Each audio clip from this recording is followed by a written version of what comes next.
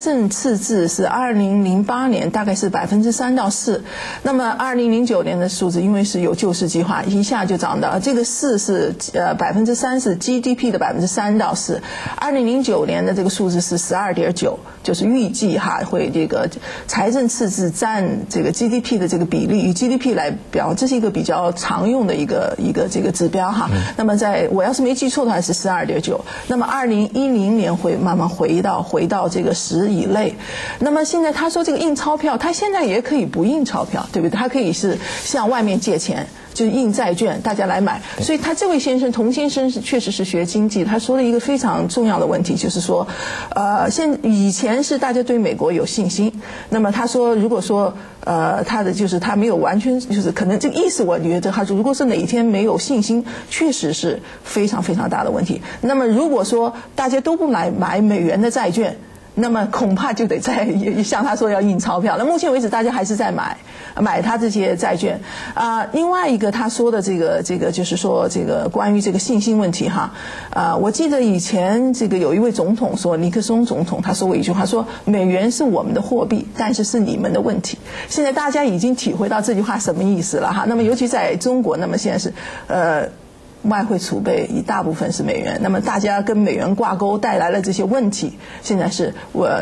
比较比较比较令人担忧哈。那么确实是，如果有一天大家对美元这个失去信心，对美国经济失去信心，那么这个带来会带来多么大的影响？这个是学经济人都不敢想象。那么这是非常非常严重的问题。目前为止还没有到那个程度，但是现在已经提出疑问，就是说美元现在这个走向哈。那么啊，前一位前面有一个先生，好像是周先生说希望美元升值，但是目前为止是不太可能，因为这么大的赤字，从这个经济学的角度来说，这个美元恐怕是走疲软的这个趋势。但是过去一年好像这个。美元并没有跌很多，而是升了不少。是，它是，嗯对对，它那个升是这样，就是说，在经济，这就回到信心，在经，就是在世界经济就出现非常大的这个我危机的情况下，那么这些钱会找这个叫啊，英文叫 safe haven，就是最保险的地方。对，大家钱。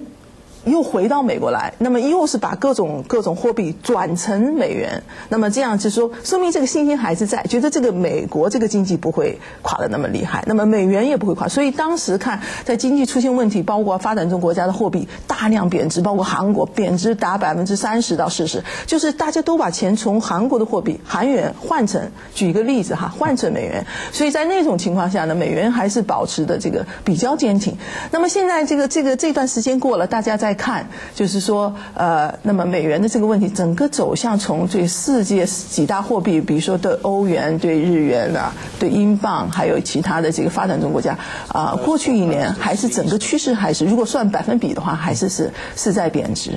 嗯，就说。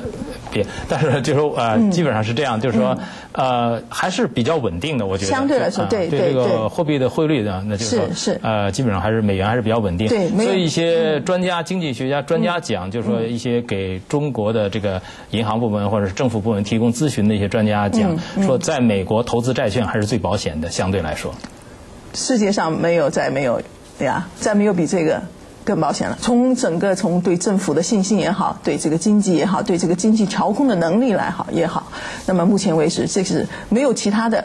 可代替的和可是叫 alternative 啊，可取代的，就是嗯呃，没有比它更好的选择了。对啊，说成中文说顺了应该。就是从这个呃金融危机呢，呃现在当然这是旧话重提了，就是呃最最开始影响到就是说呃全球经济的金融危机呢，就说是一种这个房屋贷款的次贷危机。嗯。然后呢，一些大的呃信贷公司或者是一大大的银行，他们由由于这种金融的这种衍生产品，就是说衍生的这种呃所谓的杠杆作用呢，把这种这个呃这种新的这种金融产品炒。得很高很高，然后使这个市场没法承担了，最后就垮下来，这个泡沫就破灭了。那么导致了就是说，像美国的什么雷曼兄弟啊、贝尔斯登公司啊、美林啊、美林证券，很多这些大的公司，以前都觉得好像是是一个帝国不可能垮的这样的金融公司，呃，一夜之间就觉得好像就成了负债累累了。那么你怎么看这种金融现象呢？这个金融现象哈，那么这个金融现象，那么现在回头来看，出现这种金融现象，为什么出现这种金融现象？那么其中政府有不可推卸的责任。从调控来说哈，那么那么在这个现象背后，为什么出现现象？很多人说是贪婪。那么一个是就是说这些呃金融公司是贪婪，就是完全人为的，就是把这各种各种，比如说各种金融产品打包啊，完了再给他。为什么它叫衍生物呢？它已经远离开了它最开始所想代表的那个东西哈。它是这个，那么这些衍生物，它是有的时候出现啊这种还出现。好多什么 CDS 啊，就是各种，我现在不知道中文怎么讲，就是它整个基础是以房房屋贷款为基础，完了它进行打包处理，完了。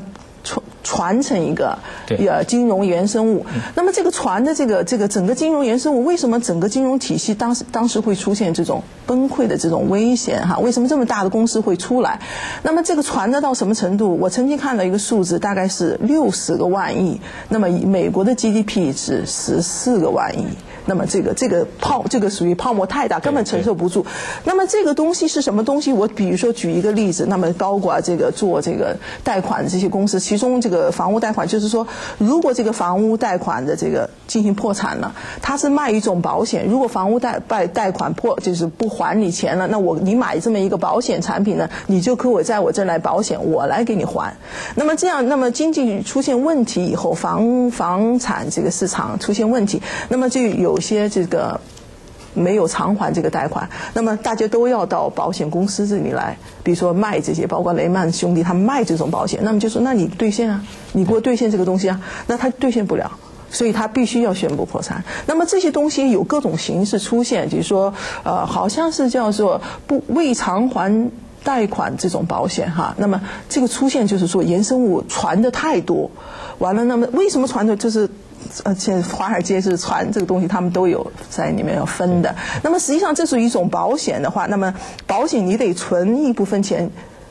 就是以防将来这个你保险的东西出现问题，你要好补补出来。那么这部分钱根本有